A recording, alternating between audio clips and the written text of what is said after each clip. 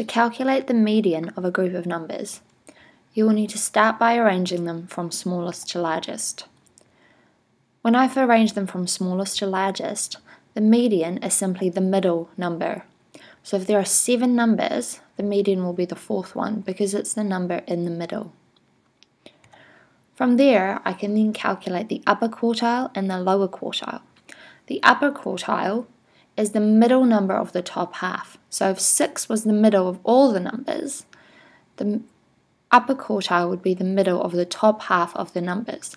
In this case, it is 7, because 7 is the middle of the top half. The lower quartile is 3, because 3 is the middle of the bottom half of the numbers. Finally, the range in this case is 6, because the highest number is 9 and the lowest number is 3. And to calculate the range, I subtract the lowest number from the highest number, which gives me 6.